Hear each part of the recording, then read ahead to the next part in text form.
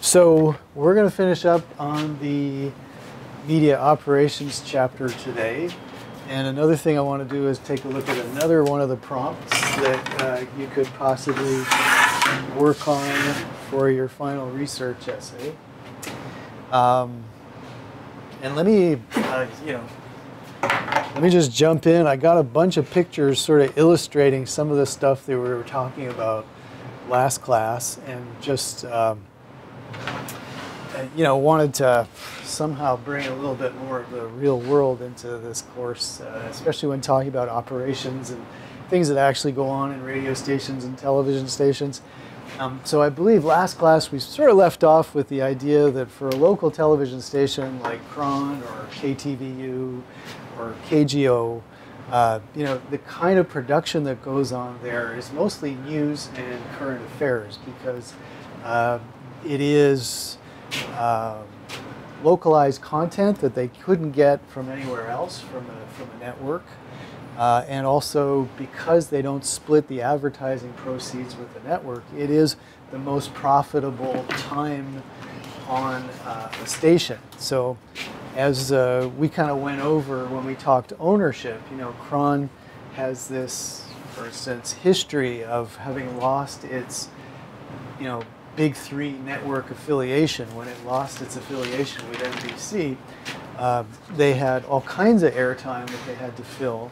And so you'll notice that KRON has a lot of news production uh, because that is what they can do. You know, no one can set up and make House or some other kind of uh, you know Hollywood television drama at the local station level. That has to be done by networks. It costs so much money. So news and public affairs generally gets done at, at a local station.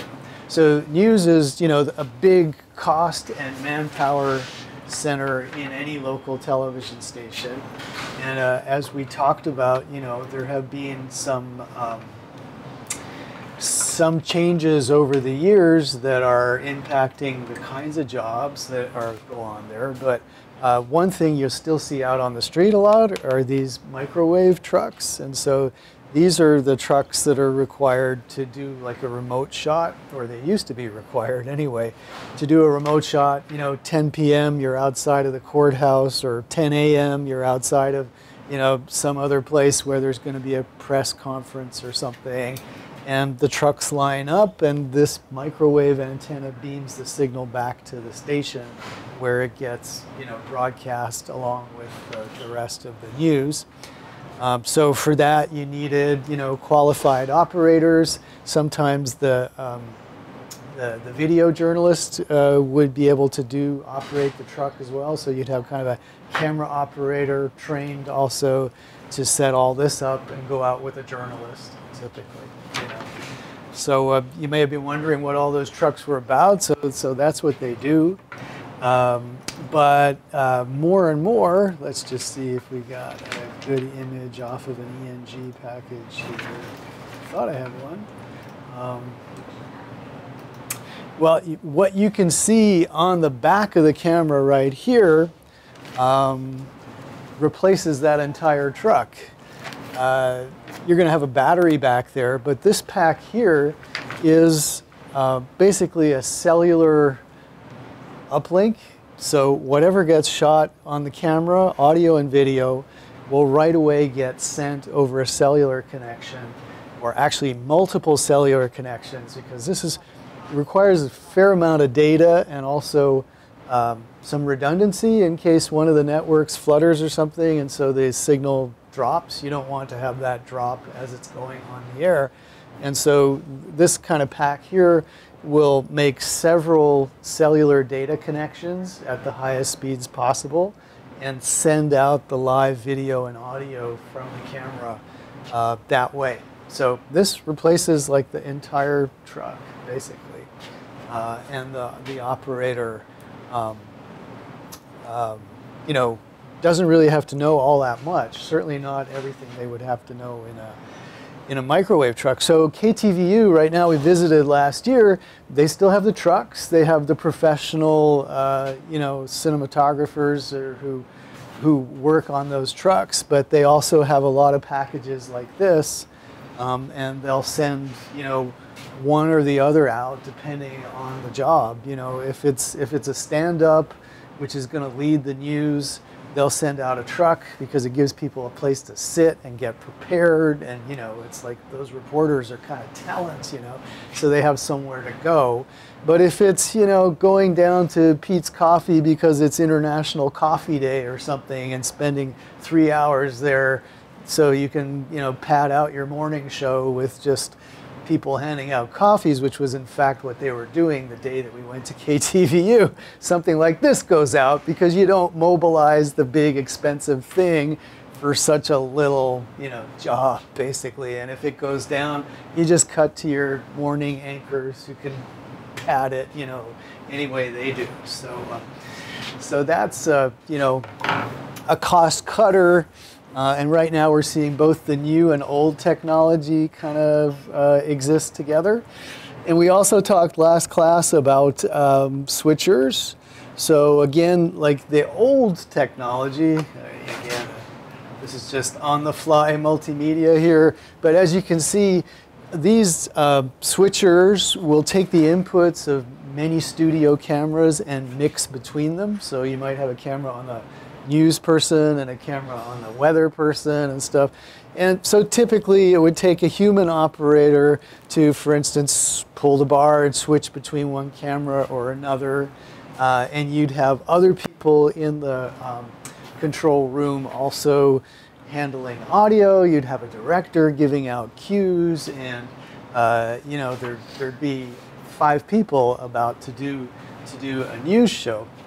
But um, again, this is changing, and systems like the Grass Valley Ignite system, um, you notice, wow, there's a whole lot less buttons and levers there, and everything is handled digitally through macros and presets. So your, you know, your entire your entire TV news run can be programmed in and just, you know, hit the buttons to move through the different events and once in a while make an adjustment if need be. But typically all of that is you know, um, pre-programmed in. Volume levels, camera shots, all of that stuff. So this is called a switcher. The switcher switches between cameras. So this has become automated. And then the other thing we talked about was, um, you know, uh, camera pedestals can we, uh, uh, it's probably big enough to see. So here in the studio where, you know, you have your news set, again, 20 years ago, you'd have a live camera operator for each of these cameras. But uh, in this case, as you can see, there's no live camera operator, although there's still, you know, the controls that somebody may want to take control of this if the automation goes down or something. But otherwise, you know, the, this is tethered and motorized and it drives around by itself to specific positions and the camera can pan, focus, etc. can be automated or it can be controlled from in the um, in the control room. So you know this is a, uh, also saving saving money in the operations department of a television studio, but meaning there are less kind of entry level camera operator jobs which is typically how people, you know, even very famous um, cinematographers working on big movies and stuff, some of them began like in their local TV station at 19 years old, standing behind the camera, waiting to be told what to do. And, you know, 20 years later, they're in Hollywood making movies and stuff. So uh, this is a little less what goes on, but there are still many opportunities freelance for this type of uh, television station and stuff. You won't find unionized people behind the cameras in the studio, but you, they will hire plenty of people uh, on a freelance basis to go shoot for them. So, so. There's still jobs there, but I just wanted to show you, you know, a, a special focus on news production in the television studio because that's what um, that's what broadcasting technical jobs and you know operations in a TV studio look to. Let's see your basic, the basic Grass Valley setup selling for twenty three thousand dollars, and then adding more in as you as you build in more more capability. Um, yeah, and as we said at KTVU, all of this was being used. You know, robotic pedestals, uh, a switcher which was all controlled by macros, and uh, those sort of lighter cellular uplink camera packages, which uh, were really cool and, and, much less costly than sending out a truck. And of course, you, by streaming that content, uh, you know, there's a whole lot less space taken up storing data, etc. Because streaming um, takes less space than uh, transferring files around. Okay, um, chapter 11. So we've been through, yeah, we talked about the various departments. Um, so what department would be involved in uh, trying to get new listeners to listen to a radio station? What would that be? Do you remember? Like, you're in a radio station, you want more people to listen to you. What do you, which department of your station does that?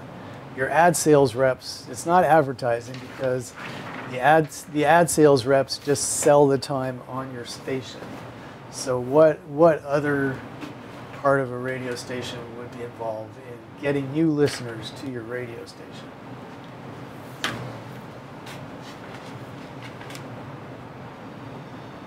We have no answers?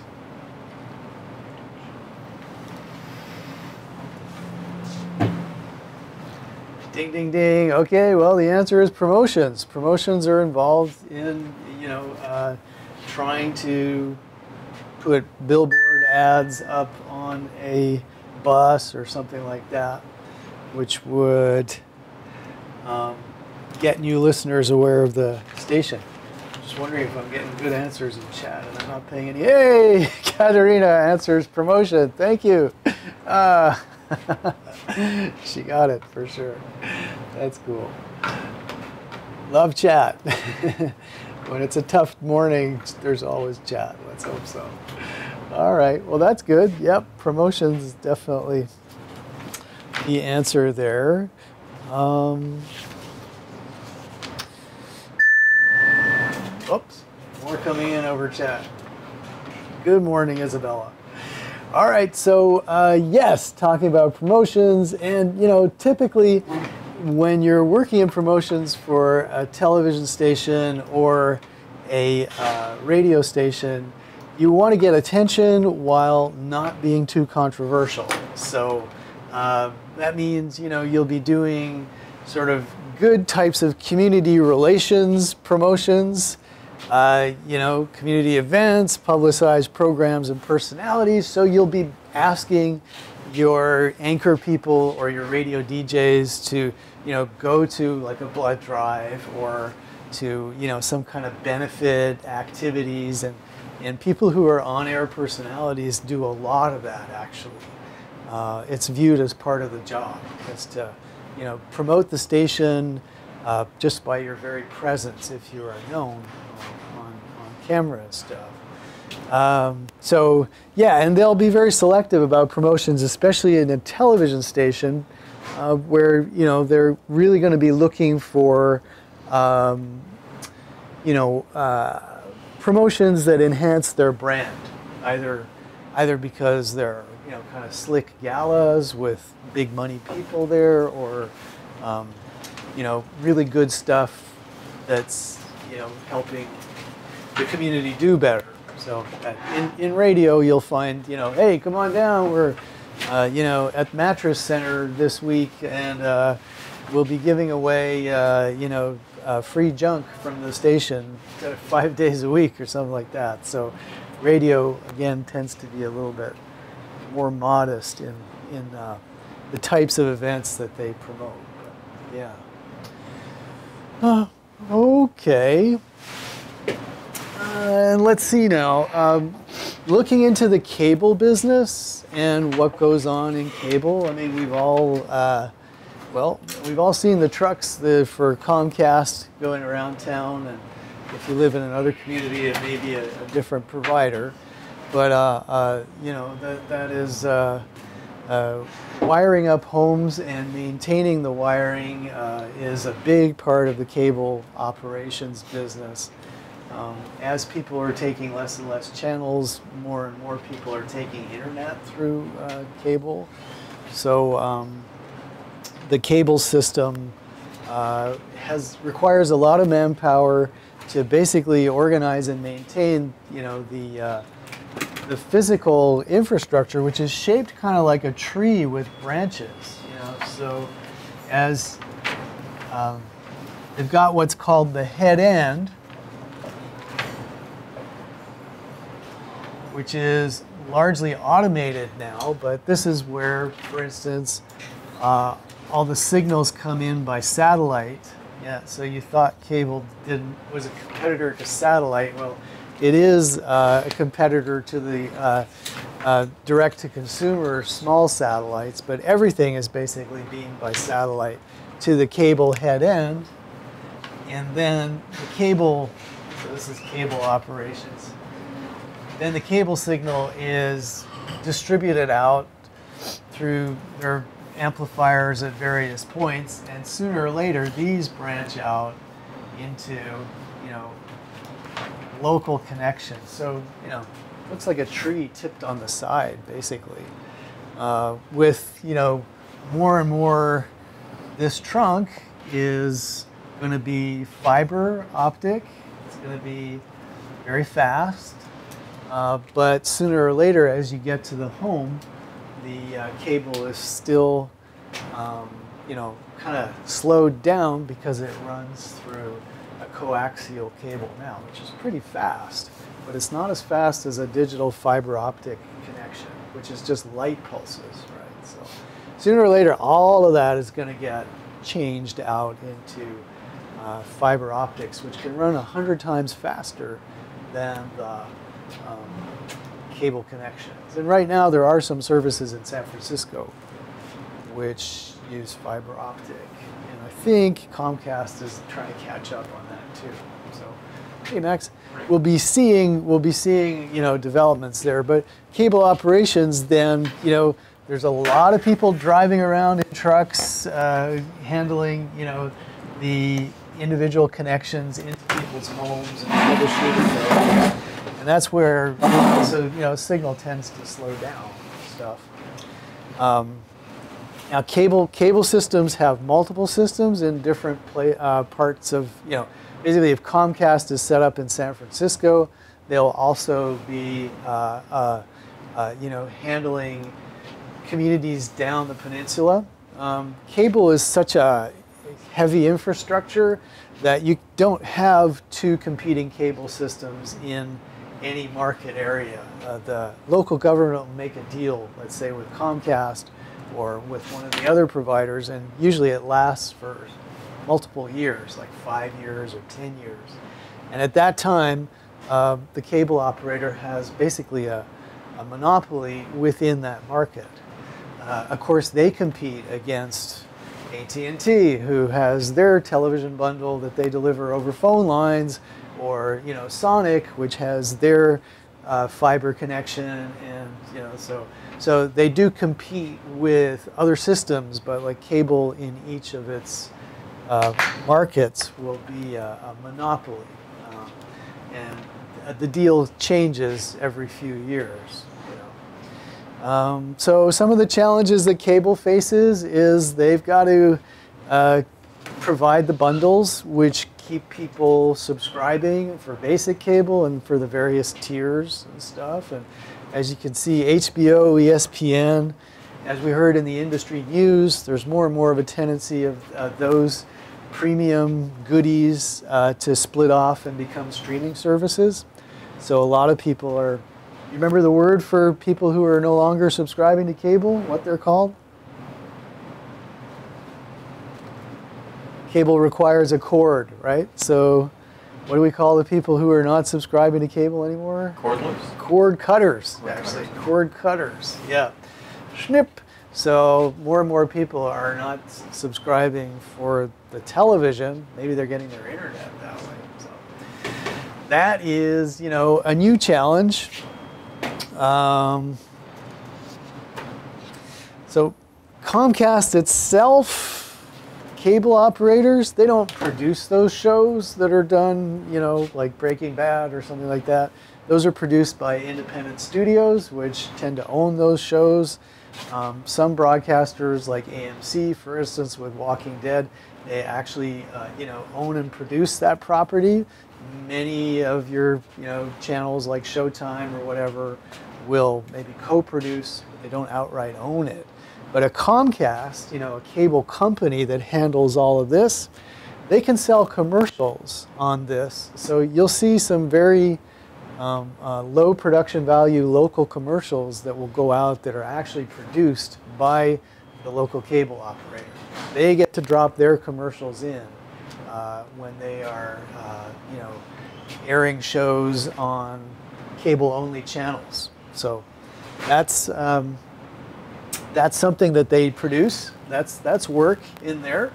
Uh, so they have sales associates uh, who you know compete with network TV and everybody else. Uh, their promotions are pretty, you know, notorious for you never know how much the cable is actually worth because they keep on offering, you know, a bundle of three services at once and the price will go up six months later and it's all, it's one of the things that makes cable one of the most detested parts of the broadcasting business because the price just seems to go up and you never know where you are. So I wouldn't say that's a real success, promotions uh, in, in the cable business. Um, let's just see. Um, yes, some large market MSOs have a local news channel. Uh, so, you know, since Comcast bought NBC, so they're now Comcast NBC Universal, this is a few years back, um, they clearly have, you know, uh, the NBC sports channels, NBC branded sports channels and such, which are cable only channels, but they, um, they uh, are uh, Comcast property basically. So that's another part of their business. Um, yeah, I think that's mostly what you would see with um, with the way that the cable business is uh, operated. I think operations. All right, well, before we get into satellite radio and such, um, let's change gears just for a quick dip into our possible topics for your final term paper. So, last class, we oh, let's just see if anybody in chat has told us something interesting. Promotion. I love that. Just refresh and see. Sometimes these things don't get in here. Okay, well, it seems like the last we heard from was Isabella. Righto. So you know that last day of classes thereabouts, uh, a second four-page research paper is due. Let's get you the exact due date on this. December 6th, actually, so it's coming up. Um, so December 6th, and there are various topics. Last class, we talked about a very interesting topic, which is to create a biography of a local radio station. So by going on Wikipedia, you could find out just about any local radio station, its history, and uh, I'm asking you to track ownership and format changes because those are really key developments. And uh, I think you'll see with most of our local stations, ownership changes around the year 2000, between 96 and 2000, which will make a big difference to the station. So uh, that would be a very interesting one. So let's look at a, a couple now because it's coming up on us, another couple. So let's look at the second one here. XM and Sirius Radio are competitors for the terrestrial radio audience. By that we mean they compete with FM and AM radio as well, as they coexist in your car. Discuss the successes and failures of satellite radio using such discussion points as the business model, subscription fatigue, and high profile personalities that may or may not attract the audience the services require. So, um, do you know of any high profile personalities that are on satellite radio?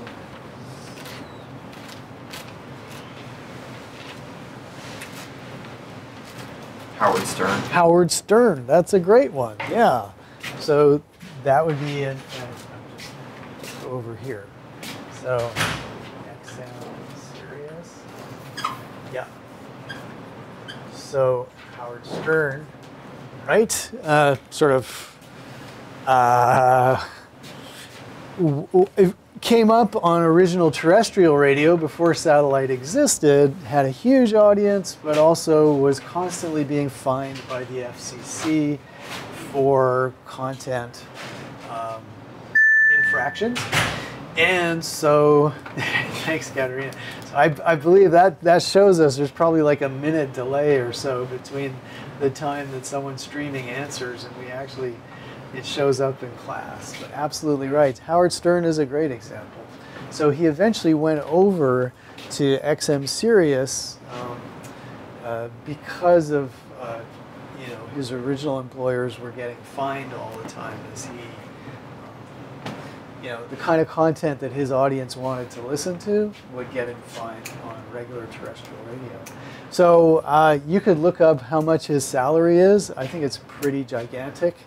Um, and also you could look up uh, XM and Sirius, right? Which, uh, first of all, began as two separate services, but they had to fuse because there weren't enough subscribers to actually support two comp- competing services. So originally, Congress and the FCC, you know, they don't like a monopoly, right? we all know. I mean, we know that we know we know the board game Monopoly, but mono meaning one means that there is one owner who dominates in a marketplace, and uh, you know, so we do have a situation in which XM Sirius is the monopoly provider of satellite radio now. Uh, uh, Congress wanted to have two separate services to compete, but instead we only got one because that's uh, the only thing that subscription could actually support. So that you know would be something that you could discuss under this notion of subscription fatigue. You know, first of all, you got to convince people that hey, this is worthwhile enough that I'm going to pay a monthly fee instead of just get free radio. Number one. Uh, number two, you've got to keep them happy enough so that they're not just going to let the subscription lapse. So if you buy a new vehicle or if you rent a vehicle, you'll get free satellite radio for a while and they'll get you used to it and then hope you'll keep on paying for it. But if you don't, then subscription fatigue sets in you know, which is you start to say, I'm paying Netflix. I'm thinking about, you know, subscribing to uh, the San Francisco Chronicle and blah, blah, blah. I'm finally winding up paying $40 of streaming services. Uh, do I really need XM Sirius as well, or would I rather just have, you know, a competing digital service too? So, uh, when, when answering this part of it, I think you could point out how um, hard a sell it is to get one more subscription service, especially when you can get free radio. And uh, then also um, think of the other competitors that are also providing something similar. So you just want to talk about that. Uh, yeah, and then uh, to discuss the successes and failures of satellite radio, well, again, if you look up XM Sirius in our textbook, there'll be a little bit. On Wikipedia, there will be a lot just about, you know, when the service started and when the idea that really we couldn't sustain two separate services became a reality of the two merging. And you may even want to bring up what came up in industry news presentations as well, that Pandora was recently bought by XM Sirius, uh, which is looking for, uh, you know, well, how would you interpret that? Why would they want to buy a Pandora?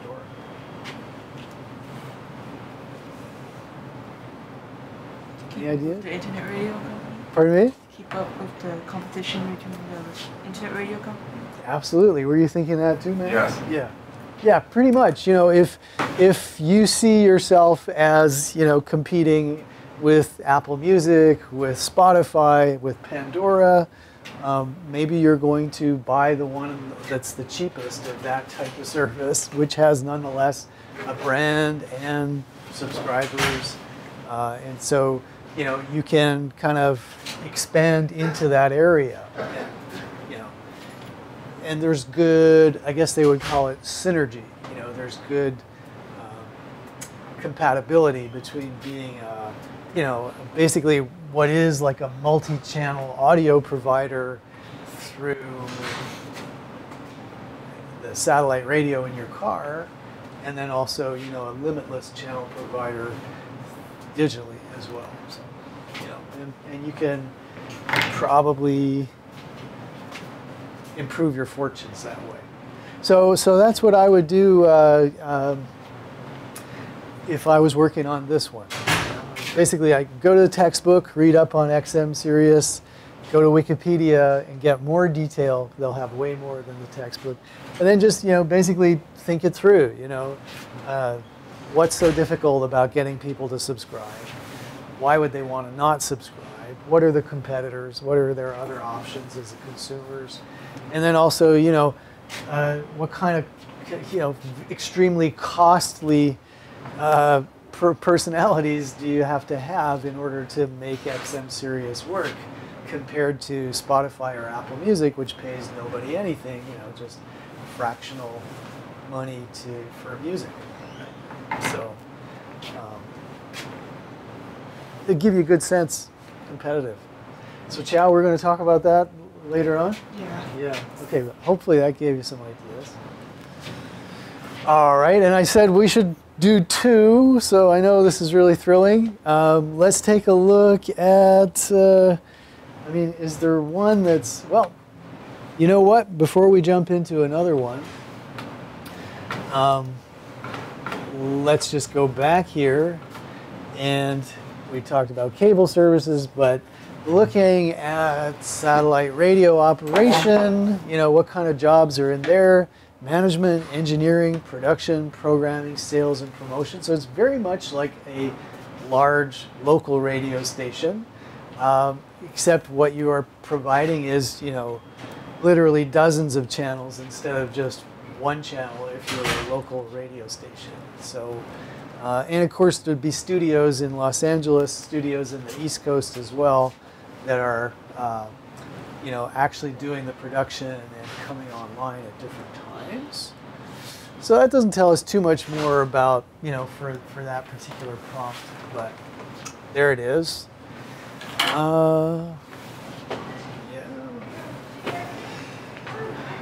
Satellite delivery.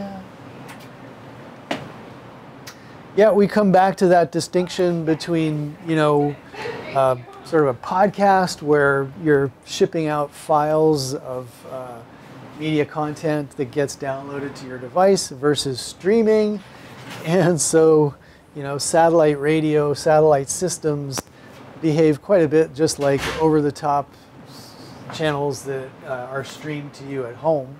You know, for all of them, you don't come away with a DVD or a digital file that you can hang on to and uh, you know resell or just put in the garage or something. It's just like you know the real trend is towards streaming. You subscribe as a as a user, you subscribe and you get content streamed to you, and you never actually own it anymore. You just own the right to stream it. That comes and goes. You guys see any downside with uh, this trend towards streaming rather than outright selling you stuff? It certainly takes less storage. I mean, you don't wind up with gigabytes and gigabytes of files that you have to worry, hey, I paid 10 bucks for this movie and now it's being wiped. Right. Mm-hmm. But any disadvantages of that? Disadvantages of streaming. Of streaming, yeah. Like, let's say that the only way you could access the history of movies would be to join a streaming service and hope that they had those movies available. Let's say if you're a movie buff. Could you see a downside to that versus You possibly have to subscribe to three or four different streaming services to Yeah. get the movies you want. Yeah, absolutely. Yeah. And maybe some movies that you want to see are just not available. So you need to buy them anyway. Yeah, if and hopefully they're they're available like that. Yeah. So, yeah, exactly. I think that's a real good point. You're kind of at the mercy of the licensing, uh, you know, parts of these businesses as to. And there's there's going to be a huge change when Disney withdraws all of its stuff from Netflix, and when you know uh, anything produced by Fox will also be withdrawn.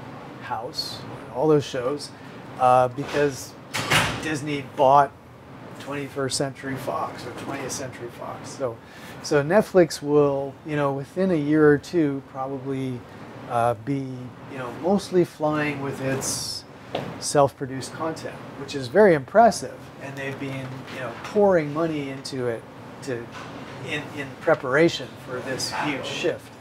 But this is this is going to happen. So, you know, your Netflix account will not get you all that it gets you this year. Next year, you know, it'll change. So, so yeah, you, you, you, for the convenience of not storing a lot of stuff, you lose some, um, some, some forms of access anyway. Yeah. Okay, uh, so yeah, we were going to go back to just looking um,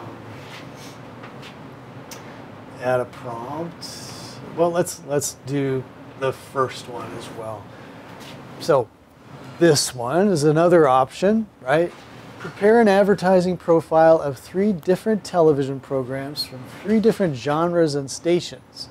For example, profile How to Get Away with Murder on ABC, The O'Reilly Factor on Fox News, and NCIS on CBS.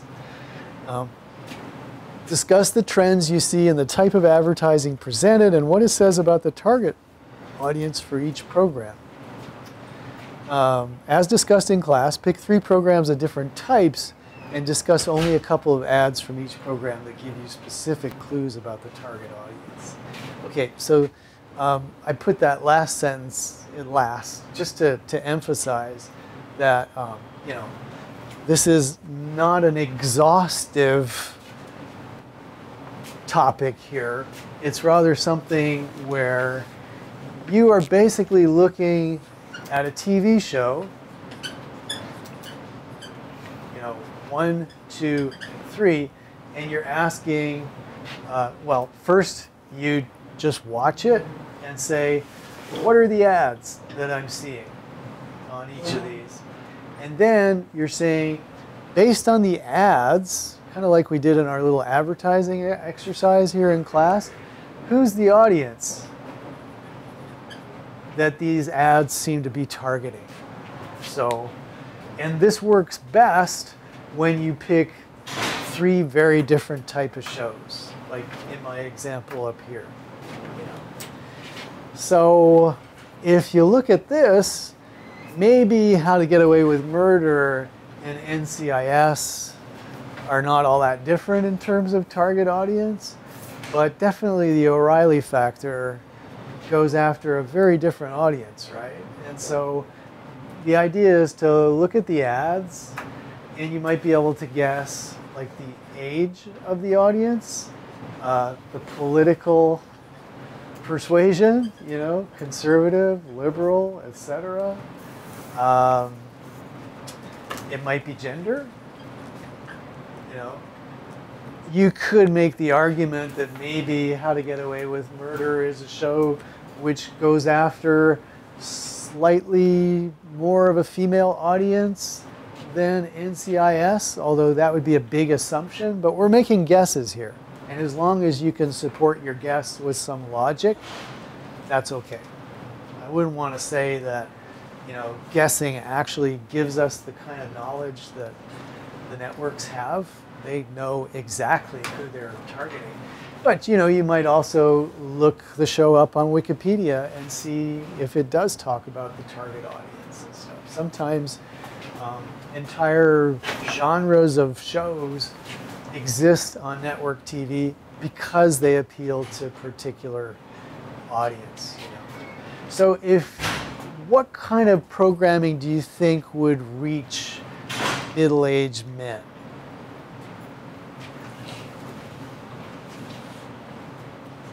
I'm gonna have to go with uh, the Blacklist with James Spader in it. Oh, okay, that's an interesting one. Okay, I don't know the show, but when you tell me James Spader, I'm thinking, you know, of a breakout actor of the 1980s, and you know, like with a particular persona, so Mhm. would be recognizable, identifiable to that group.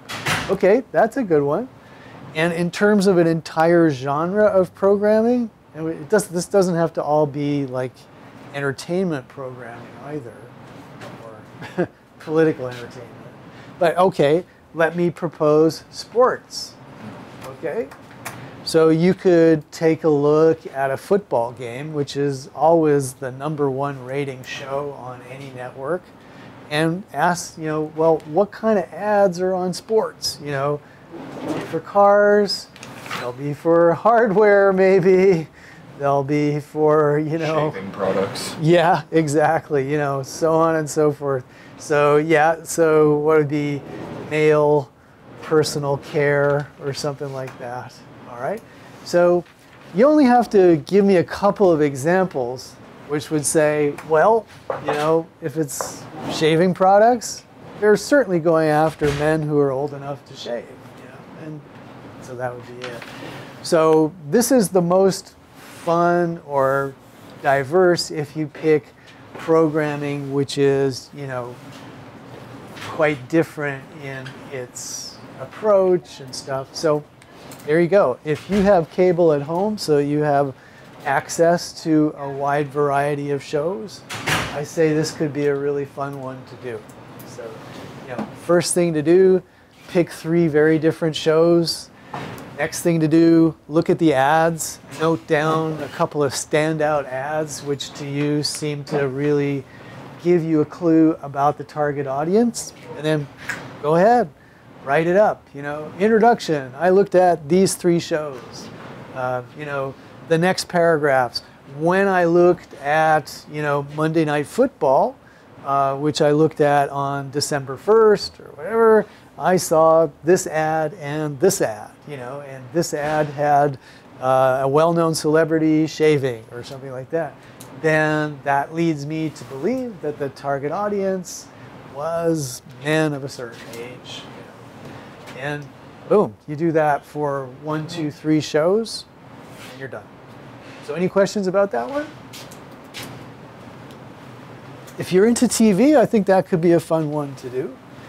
And you know, it's it's based on good description and analysis. So I think, I think it'd a real good one. Again, you know, there might be a little bit in the textbook about this, but this is mostly watching yourself, thinking about what you've seen, and Wikipedia could help, for instance, maybe give you a couple more clues about, you know, some shows and you know, did they talk about who their target audience is? Give you some more clues, and that's certainly relevant. Okay, cool. So, you know, now we've got three on the table, and next class uh, we'll, you know, discuss the last one. Uh, so that's due December 6th, four pages. Um, as you know, the requirements and guidelines are here. Um, I had some excellent ones last time. Please, you know, left justify your text, but otherwise there were some really good ones but there were also people who hung back last time, and that would not be a good strategy. Make sure you get something in to get credit, and uh, you know this is um, it can be uh, uh, not too intimidating a thing if uh, if you think it through patiently. Just take it one step at a time, and I am always available Tuesday, Thursday, 11 till 12 in my office hour, or you can talk to me after class too if you need some advice or such. Good morning, Desiree. Let's just see if that was my. Yeah, okay. Cool. All righty. Let's see. I think we may uh, finish in time to have a little Kahoot today, which would be less boring than hearing me talk constantly. So let's see here. Exactly what else we got to get through before that would be a useful thing to do. Remember, we've been talking about operations, which is, you know, uh, last week we, you know, and the week before, because last week was largely canceled. It was completely canceled. So the week before, we talked about ownership um, and the various trends that are happening in the business. When we talk about operations, we're talking more, you know, at the ground level, locally, what goes on in these different types of businesses. Right? Um, so looking at you know the impact of the internet and again this was a consistent theme through our industry use presentations um, this trend towards streaming which is taking away from cable which is giving us these over-the-top services which appear on our television uh, equally competing with broadcast as well as cable um, so all kinds of new direct to consumer options. And I think what we're everyone is anticipating and everyone's kind of wondering, you know, how quickly will cable subscription decline? Uh, when will we feel the saturation point where people say, I saved 60 bucks a month by cutting the cord to cable. I'm now spending 60 bucks a month with my Amazon Prime and my Netflix and my, you know, HBO Go and my Disney whatever and my CBS whatever and so I'm through, you know. So they're going to test out that. And I think we could anticipate Amazon doing what it already does, which is, you know, basically, I don't know what you feel about Prime, but there's never anything I really want to watch on Prime. In fact, you have to rent something from them. And then they also will sell you HBO through Amazon if you want. So somebody's going to bundle these together. And very, you know, eventually in the next five years, it's going to start to look like cable TV all over again as you, you know, get the Amazon basic bundle or something like that, or the, the Hulu with live television incorporated into the Hulu library, or who knows what happened to Hulu. I don't think it'll be around five years from now. But I think we can guarantee that Netflix will in a very different form, and Amazon may well rule the world by then. We'll see. Um, but yeah, so that's a that's a big thing. Um, we talked about some of the downsides maybe of uh, streaming. Um, so yeah, let's see what else we got here. I mean, um, another another potential as well, which Hulu exploits but Netflix doesn't, is you can now sell advertising through your streaming service just as well. So you know, it's all going to converge. Righto, what's the future look like? A future for terrestrial radio does not look like growth. Uh, it's it's widely distributed and available, but people don't invest too much in it, and um, the audience is being picked off, and the audience is getting older, and older people are less valuable than young people to advertisers. So it doesn't look great. Whereas online radio seems to, uh, you know, have very low cost and uh, wide distribution, growing. So that's a growth area. Um, production styles for regular radio, it's mostly talk now, right? Yep. Nice. Does radio hold any sort of licensing or rights that a streaming service does not have access to? Oh, that's a good point. I don't see that as a huge value, except that the streaming services have trouble localizing in the way that terrestrial radio does. You know? Mhm. So, um, it, I'm just wondering how, you know, I mean, I guess you could, you know, you could set up a streaming service or a channel, like a channel, like Voice of the Bay or something like that. And then you could program that channel to be really, really local, and it, but it would be like one of hundreds which would be available. So I guess you could reproduce something like that Mhm. without, you know. And I guess the other thing is we mustn't forget about the percentage of the population that can't afford those services, Yeah. right? You know, uh, there will be a digital divide, and so terrestrial radio is still going to be important. But they're again, you know, they don't have the same amount of money, and so advertisers may not. Mhm. Yeah, so it's a good question. Off the top of my head, I don't really see the you know the huge value in a license anymore. But yeah. Um, automation, consolidation, mergers, right? So we saw that, uh, like for instance, an iHeartRadio with literally thousands of stations can combine management. We have seven iHeartRadio stations in the Bay Area. They're all under one roof with one engineer. They'll have separate sales departments because that's where the value comes from. But in terms of running the station, all, all you know, all the employees will be working for several stations at once. And then if you go to smaller markets, uh, the entire thing can be robotically controlled from elsewhere. And so, you know, literally, they'll install a console which just feeds through a signal which comes from somewhere. Uh, FCC requires that there be a live person in a station all the time, but it may be a minimum wage worker who's just there to answer the phone in case there's an emergency or something. So uh, that also takes away the value of a radio station. It's like basically it's just a repeater from somewhere else.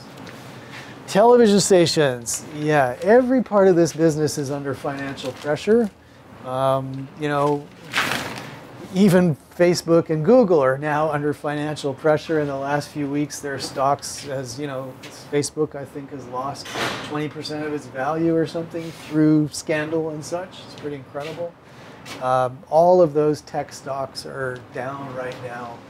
Um, again, uh, you know, a lot has to do with predictions of growth about where the business could go, and so uh, you know. Um, when you find out that 60% of the country already has Amazon Prime, which is an unbelievable fact that I heard recently, uh, that makes you think that, okay, where can Amazon grow? It's going to have to grow outside of this country. And as you, you know, we mentioned that Comcast just bought, you know, a foreign satellite distribution service for billions of dollars, and uh, Netflix obviously has in its DNA a global footprint. So uh, a- lot of these are looking for growth outside of this country, which is pretty wild. Um, yeah, so TV, again, local TV stations with their local news audience are still profitable for sure. But again, you don't see the growth there that you used to. Uh, and network audiences have been declining for a long time. So there are all those trends there, which I could just read them off the slide, but what the heck, right? Satellite radio, as we saw, yeah, I mean, all of this. Let's do a Kahoot, because uh, I think we hit everything that's really very important there. So give ourselves time to bumble around and open up a Kahoot. That's kind of me operating. Here we go. So I do hope some folks will be interested enough to play. It's always fun.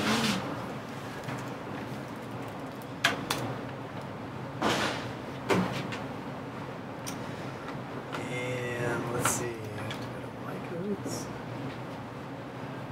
There we go. Chapter 11. That's what we've been on. Let's play one. Classic. Just see how this.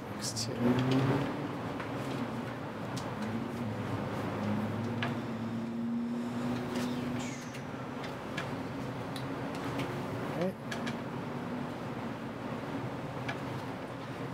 Time to log in. Here's our Kahoot music today. Can't load it. Can't load it? You got a problem with Wi-Fi? The Wi-Fi is not working for us? see here.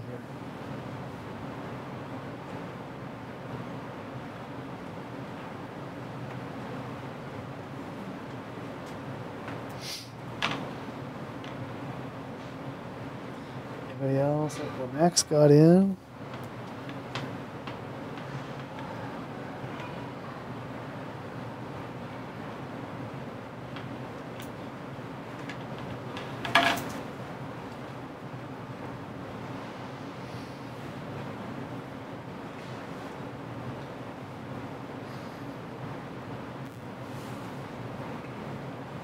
Ooh, I made it in. Nice. How's it going, Chow? Man- man- Managing? Oh, excellent. Great. I'll let you get in and we'll start. Michael, are you going to play?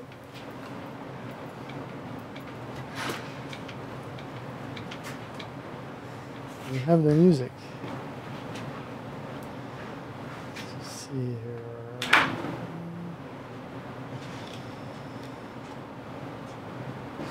How far? Computer's up.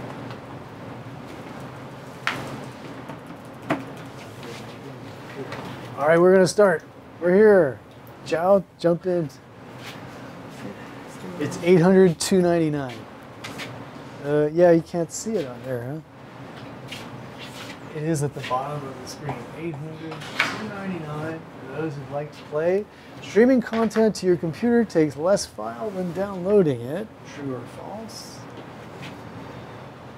All right, we all got that one, right? So, yeah, that is part of the attraction uh, to the consumer of all of these streaming services rather than actually having to store content. Newsrooms using new technologies typically increase the size of their field production crews. Would that be true or false? Okay, false. So, as we saw with robotic pedestals which drive around so you don't need any camera operators or you know uh, uh, uh, putting a, a, pack, a cellular pack on the back of a camera so that you don't need someone to drive a satellite truck or run that and you know even a switcher back at the studio which all runs off of a computer instead of having five people so for all of those the you know the production serve crews have gotten smaller in some cases eliminated altogether by technology. So even though you have to pay $25,000 for that computer controlled thing, it's cheaper. Studio cameras are mounted on what? What do they call those things?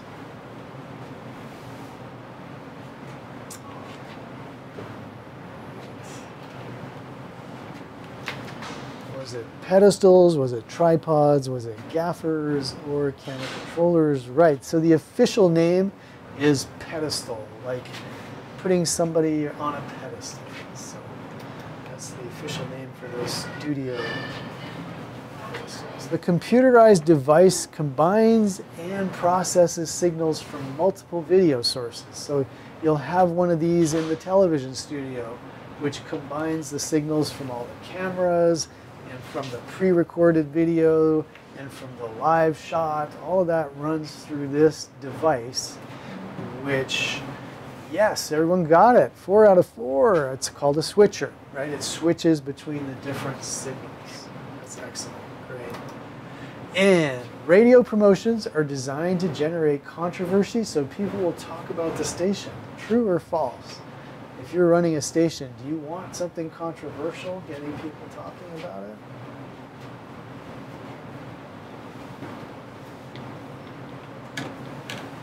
All right, we got an even split. So in the era of Trump, you know, controversy seems like a good thing.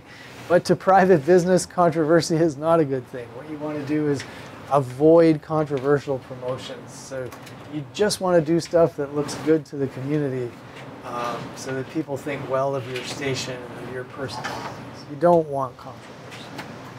One advantage that terrestrial radio continues to have over satellite and streaming is localism. Is that true or false? Oh, we had an even split there, but the correct answer is true.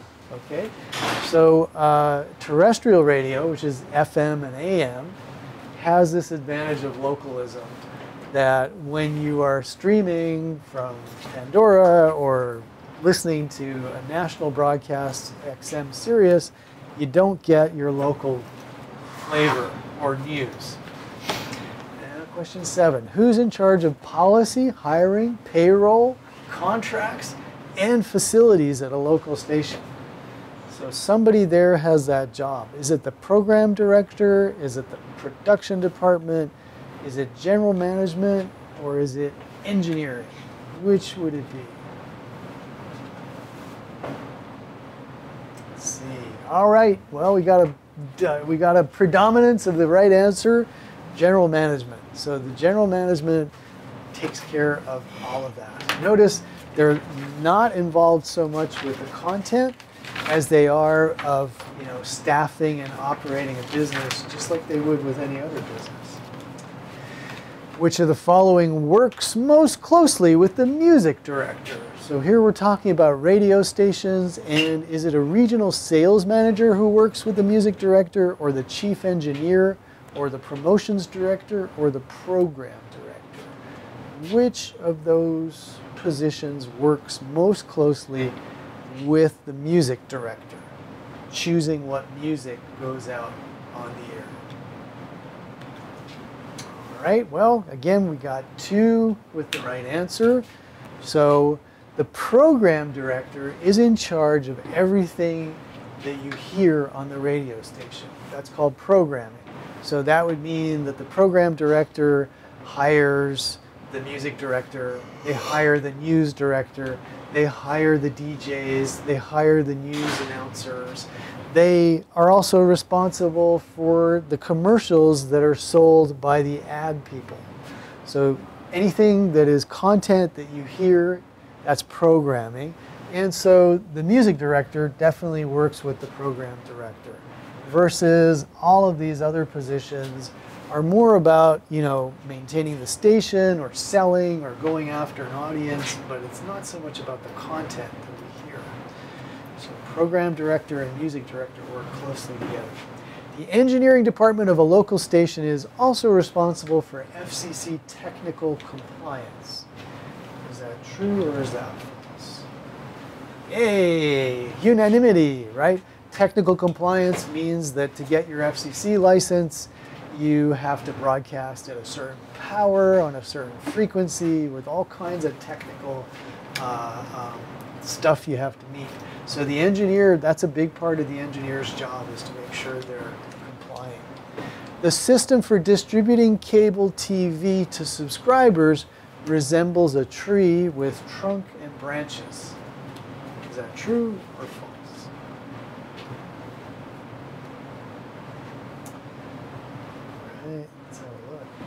A unanimity again. That's fantastic. So that is true. Um, it does look like a tree tipped on its side. There's the trunk is typically fiber optic, and then the branches switch down to um, a slower medium right now, but eventually it will all be digital and fiber optic. The type of wires used by cable systems do not lose strength when traveling long distances. Ooh, okay, this is a new one that more specific that I quite get into. So it says they do not lose strength. Do you think that sounds reasonable? Just guessing. Okay, three people got it right. So in fact, they do lose strength. Uh, there are limitations on the speed that a cable provider can give you because the further you get from one of these branching points, uh, the slower the signal becomes. It's not a problem in um, optical fiber optic systems. Another great thing about them. Buying time on other media to publicize a broadcast station involves which department? So at a local station, you want to go out and get people who know, don't know anything about you. You want them to listen to your station. So what would that be? And good, we got at least a majority got it right. That would be promotions, you know.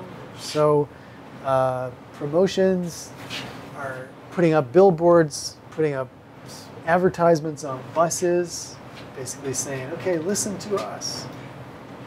Okay, TV programming departments are primarily concerned with what do they do in a TV programming department? Do they hire staff? Do they produce programming? Do they acquire and schedule programming? Or do they do content censorship? So remember, we're talking about primarily concerned. What do they mostly do at your local TV station in the programming department?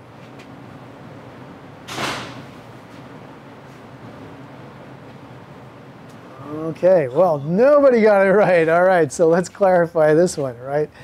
Uh, what was the most popular? I was program production. Well, that would typically be the production department that deals with that. So, you know, they are going to be responsible for coordinating and paying for, for instance, the news crews that go out and do any of the production. If you're in programming on a television station, most of your time is spent acquiring and scheduling shows. So because most of the time on a local TV station is not produced locally, it comes from different sources. So, um, you know, KRON is a pretty extreme example because they don't have a very strong network affiliation. They do have, you know, something called My Network, which is a, a, a minor product owned by Fox, uh, which basically gives them some, you know, not very popular programs during prime time. But KRON does more local production than your typical TV station. So programming is looking at acquiring, in other words, buying programs and scheduling. Like when do we actually put those on? Boom. Let's move on. This is our last question. In larger markets, the sales manager position may be divided into local sales manager and what? Local sales manager and promotions director, local sales manager and general sales general manager or local sales manager and regional or national sales manager or a collections agency, which I can guarantee is not the answer. All right, we did well. We're back to majority, regional or national sales manager. So this is the idea that in larger market, uh, you're not just going to be selling to local mom and pop stores. You're also going to be getting calls from media buyers in New York or Los Angeles and say, yeah, we want to do a national campaign and, you know, we would like to buy uh, two hours of spots over the next few months on your station. So that would be, you know, a national sales manager who would also, that would only be their job, is to sit there and answer those calls and make those sales, which is very different than the local manager, which goes out to local businesses. Well, there we go. Thank you for your attention. Um, I wish you a good weekend. We'll be back next week with a much more interesting topic, which is what we know about social and psychological impacts of television. So hopefully we'll be more inspired next week. All of us, believe me. so have a good weekend, guys.